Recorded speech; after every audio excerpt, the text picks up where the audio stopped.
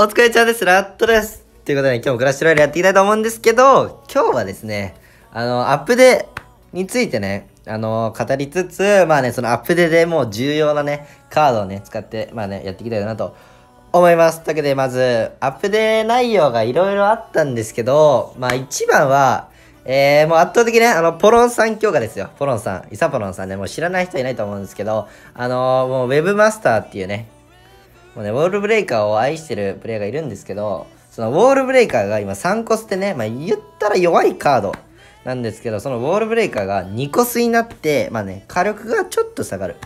かちょっと下がるんですけど、その爆破ね、巻き込む範囲っていうのがありまして、その範囲がもう2倍になります。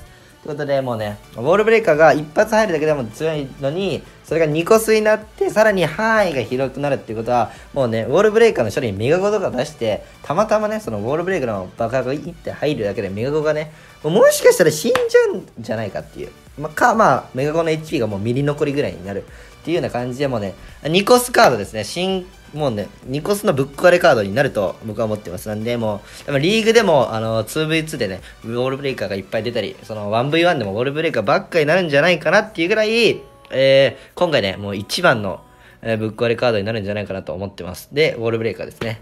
で、まあ、あと他はな、ネクロが、今ね、範囲攻撃のカードなんですけども、その、単体、ほぼ単体、まあ一応複数なのかわかんないんですけど、ほぼ単体みたいな。なんかゴブリンとかも一発ずつとか。で、火力がね、2倍になって、みたいな。なんかもう、すごいですね。言ったらマスケみたいな。マスケの、なんかね、なんかスケルトンを生成する版みたいなね、ちょっと変わった感じに、まあ、なる。あとはトリトンが、えー、まあ、単純に、その HP とかが弱くなる。まあ、あとはなんだろうな。あとなんかありました？うーんと、そんなもんじゃないですか。まあ、言ったら多分そんなもんです。あー、あとは、あ雪玉のスロー効果が、えー、しょぼくなるとか。あとは新カードのエリゴレが、まあ、また出るでしょうって感じで、まあ、言ったら今回の調整ですっごい変わりますね。まず環境にいないウォールブレイカーが入ってきて、環境にいるトリトンが多分ちょっと減るんで、そうなるともうね、ガラッと環境変わっちゃうんでね、また、それはね、大変になります。はい、というわけで、今日はね、ちょっと前置き長かったんですけど、えー、こちらね、こちらのデッキ、あの、ポロンさんデッキです。勝手に、あの、許可得てないんで、ちょっとね、怒ら怒られる、怖いですけど。あの、こちらのね、ポロンさんが、えー、もうね、動画で、てか、いつもこう使ってね、これ多分7000付近にこの動画でいる、このデッキでね、いるんですけど、このデッキね、ポロンさんデッキを勝手に使わせていただこうかなと、えー思ってます。はい、というわけで、あのこれね、言ったら、まあ、ネタの要素の方が強いんですけど、まあ、今のあの、ウォールブレイカーっていうカードがですね、その言ったら、あのなんだろうな、まあ、ヒールみたいな、そのネタ、その本番、なんか大事な場面で使うようなめっちゃ強いカードっていうわけではないんですけど、そのもう今、次からはもうウォールブレイカーしかいなくなるぐらいだと思いますね、マジで。ウォールブレイカーが当たり前に、あの、生きて、生きてくるっていうかもうね、使われる時代が来てしまうんじゃないかなっていう感じですね。よいしょ。というわけで、ここね、裏にディガー飛ばしつつ、相手の迫撃のタゲ取るっていう感じの、ちょっとおしゃれな攻撃ですね。で、ウォールブレイカーを、端前で、てかあれだ、端前でも、ポイって出してましたね、ポロンさんは。なんで、あー、ここ行ってほしかったっすけど、って感じですね。まあ一旦ウォールブレイカー飛ばしつつ、今回ね、3コスなんですけど、アップデーが来たらこれ2コスなんでね、もう2コスなんか端前でポイってね、あの、ウッド捨てる感覚と一緒っすよ。ウッドとか雪玉捨てる感覚で飛ばせるんで、まあそれはちょっとあの強いんじゃねえんかなっていうのをね、思ってますね、さすがに。ウッド捨てる感覚でウォールブレイカー来て、放置したら800、400だっけ？一発。一発が400になりますね。一発400で、えー、おおおこれやばい。たまたま陸行きがちょっとなくなってたんで、インフェで緊急回避ですね。ああ、クエイクね。なるほどね。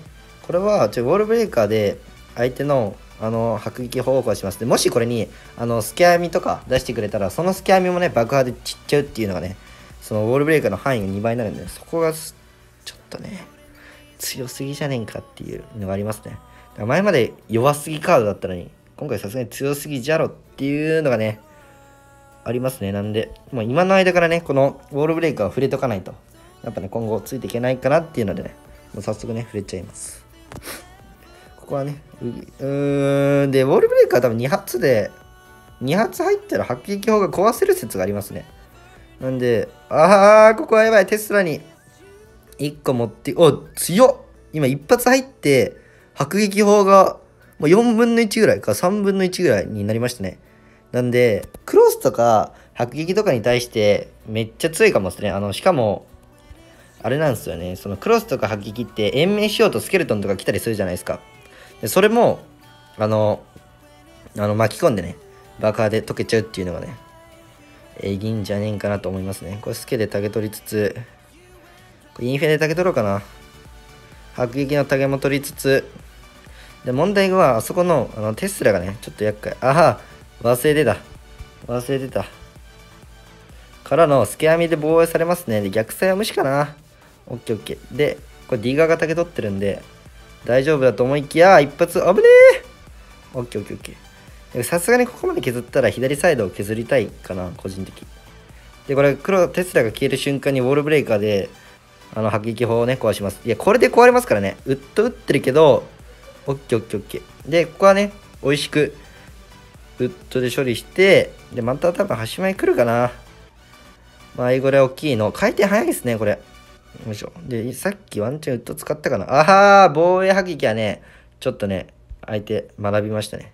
で、ディガーの位置が僕さっきからずっと同じとこなんで、違うとこに飛ばせたらよりいいかなと思いますけど、カード回しで打っと、よいしょ。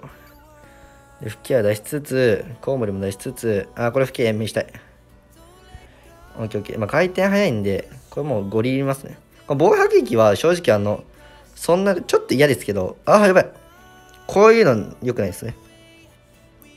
で、吹き矢も正直ウッド打たれちゃうんで、あんまなんか弱いかな。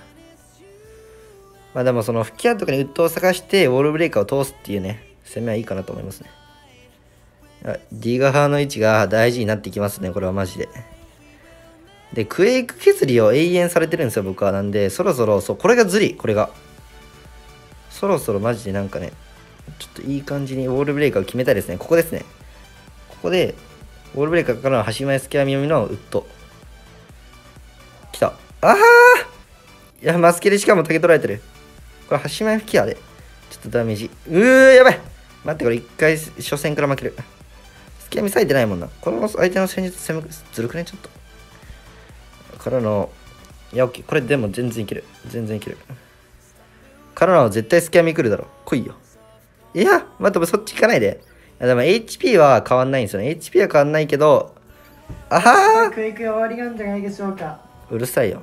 あー、これね、これちょっとね、負けちゃったっすけど、今、えー修正前でこれですね、修正後はまずこれ2個数になります。そして、爆破範囲が広くなるんで、で、まあ、ダメージがちょっと下がるだけなんで、今言ったらね、言ったらね、余裕で勝てますね。これ結構ギリギリな戦いしてたんですけど、今勝てる相手には余裕で勝てるようになりますし、今ね、ちょっと負ける相手にも、アップデートはね、もう新しいウォールブレーカーデッキがね、たくさんできてるんじゃないかなと思いますね。というわけで、初手ウォールブレーカーですね。なんかもう6コスとか7コスの時に、ウォールブレーカーを飛ばすのがいいっぽいですね。やっぱ相手が反応遅れるっていうので。よいしょ。ここまで受けつつ、まあ、ディガーでね、結構まあ削りが正直ウォールブレーカーとディガーになるんじゃないかなと思いますね。よいしょ。これ後ろのあれが邪魔なんで、好きで受けつつ、これはインフェルノタワーで大丈夫ですね。OK ああ、産後が痛いけど、からのウォールブレーカーやっちゃいます。シャシャったかな？あ、でもこれ空振れ。ああ、たまにゴースト空振るんでね。惜しい。今のも、ディガーとかとね、うまくつなげれたら、それだけで大ダメージですね。一発で400なんでね、それが、でかいですね。からの、ここは、一回ディガー飛ばして、ちょカード回したいですね。オッケー。これワンチャンザップ打たれるんで、スケ先の打たない、オッケーで、いつウォールブレイカーを狙うかっていう感じですね。ウォールブレイカーディガーをやりたい。これ、あいこれで押してエレキのタゲを、オッケーオッケーオッケー。で、ここにまあゴーストかな。正直ゴーストだと思うんで、ゴースト、おおおお、おいしいおいしいおいしいおいしい。これもう一枚割いてくれたら美味しいですけど。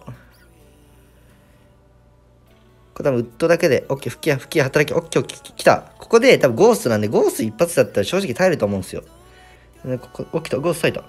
割いたんで、こマジで、ここで攻めて、からの、このコウモリとつけて防衛する。あは、最強カード来ちゃったよ、マジ。いえい、いやもうこれだけで400からのディガーで鬼殴ってますからね。ああ、インフェルティで防衛したいけど、インフェルティがないっていう、この、で、この U のちょっと受けて、U のから吹き矢でしばきます。OK。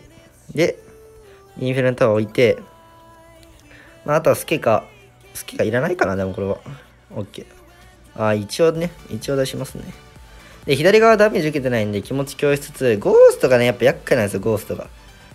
なんで、ゴーストがこの辺に黒読みのディガー出しつつ、ウッドで、オッケー、来たこれこれこれこれからのドンドン。で、今爆破が狭いんでこれですけど、もしかしたら今の相手のゴーストも死んじゃうんじゃないかっていうのがね、あの、範囲がね、増えたらありますね。で、ここね、細かいのでしっかり回しつつ、防衛していきます。ああ、いて、いて。このゴーストは一発なんでね、オッケー、残り86。来ましたね。これもうウォルブレーカは出さなくていいかな。オッケーオッケーオッケーオッケー。これインフェで受けつつ、この間ね、リガーでしっかり削りつつ、またコウモリも出してね、ここにもザップ打ちたいしっていうので。で、今ここにザップ打ったら、ここをね、エレキに当てさせないようにしたらいいんですけど、エレキ当たっちゃうけど買っちゃうよし。というわけで、これね、アップデ前です、皆さん。お忘れかと思いますけど、こっからね、ウォールブレーカーさらに進化します。いや、マジで、あの今までコスト上がったカードって言ったら最強なんですよ。コスト下がったカードか。あの、一部除くんですけど。一部除くんですけど、あの、まあ、親衛隊ね。親衛隊まず8コスだったのかな、多分。多分。が7コスになって、一時でも大暴れしたり、あとは、なんかがね、もう2個ぐらいあったんですよ。なんだっけ？トリトンか。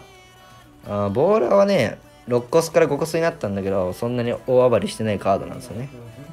で、あとは、あーなんか言ったな、さっき。トリトンが4コスから3コスになって言ったら今もうトリトンばっかっていう感じで、まあ、あとはね、もう1枚ぐらい僕の記憶ではあったと思うんですけど。よいしょ。これアイゴレで釣って、ロリババ？よいしょ。あー、タルババだ、そう。ロリババ。ロリババが本当は、えー3コスだった、初めは。が2コスになって、もね、もう安定して使われる、ずっと使われるカードになっちゃったっていうのがね、ありますね。やばい、これ、めっちゃアド取られてるかも。なんでね、正直、ウォールブレイカーも3コスから2コスになって最強になると思いますね。はい、なんで、愛用、愛用するというかね、今後ね、ちょっと使っていかないといけない感じがありますね。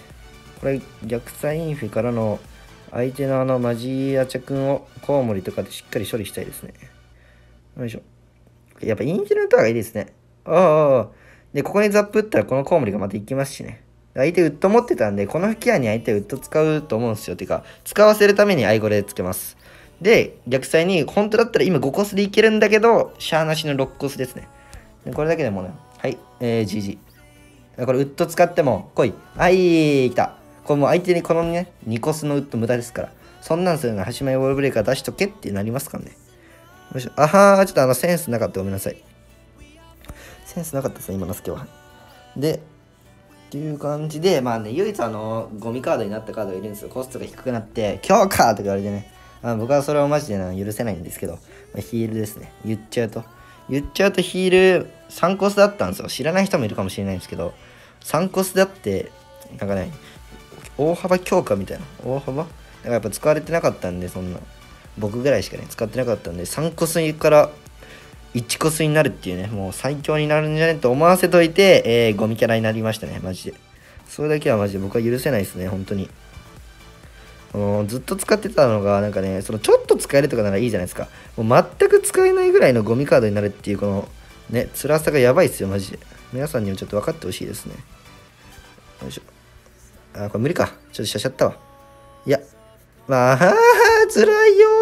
これバルキリーがちょっちゅらい。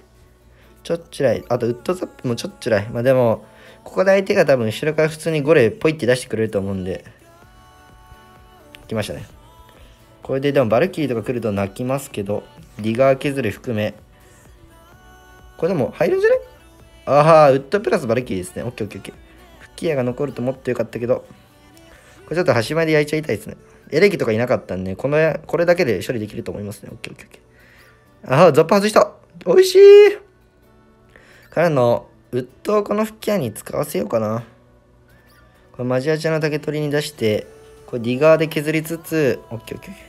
コウモリとスケで、この、ここのね、上がマジ厄介なんで、オッケーオッケーオッケー。ここさえ止めてしまえば、オッケーオッケー。ディガー削りが完成してますね。で、ネクロも今範囲攻撃なんですけど、単体に、単体、ほぼ単体みたいな。一応スケが重ねてたら消すみたいなの聞きましたけど、まだね、大きく変わっちゃいますね。なんで、今ネクロをすごい愛用してる人とかは、うわ、ネクロいらねえわってなる可能性も全然ありますね。よいしょ。で、ここ、ウォールブレーカーからのフット最短で、もし、アイゴレだけ取って、これ2発入るよ。だってこれ、何も止めなくね？来た。うい、うい、やばいくマジ？これだって、相手もびっくり。俺もびっくりなんだけどね。もうウォールブレーカー飛ばせる。あ、で、これは多分守れない、いや、守れる、守れるけど、多分こっちの攻めで突破できそうですね。よいしょ。ウッドあと3周ですね。言っちゃうとね。言っちゃうとあとウッド3周なんですけど、丁寧に攻めたい。ゴールブレーカー出しつつ、ウッドで、多分これでね、さすがに勝てるんじゃないかなっていう。このウォールブレーカーも刺さるし、えー、ディガーも刺さるし、ウッドも入るっていう感じで、ちょっとね、3コス、今3コスでもまあまあまあって感じなんですけど、2コス、あ、出たこれ、皆さん、グラチャレ今回るとき気をつけてください。あの勝っても、えー、このね、なんかチャレンジを終了しましたっていうのが出て、この勝利数ね、今さっき2勝だったんですけど、あの、勝ってないことになっちゃうんですよ。負けたことになっちゃうんで、そこね、あの、マジ気をつけて、負けたことになるというか、その、勝ったのがカウントされないことがね、あるんでね、あの、まあ、そういうことがあったらね、あの、もう、はい、どんまいですっていう感じですね。なんで、まあ、グラチャレ回る際はね、気をつけてください。というわけで、今後ね、ウェブ入ります。ぜひ、えー、もう今のとこからね、触っていくと2コスになった時にめっちゃ楽になるかなと思います。またね、アプデが実際にあった後ね、アプデ動画も出そうと思うので、ぜひそちらも見てみてください。では、あの、ポロンさんにマジで勝手にこのデッキ使ったことだけは、あの、ちょっとね、あの人、あれなんでね、あの、チャンネルね、ポロンさんのチャンネルも実際にあの概要欄貼っておくんで、ぜひね、皆さんそっちからポロンさん動画ぜひ見てみてください。では、うん、お疲れ様でした。バイバイ。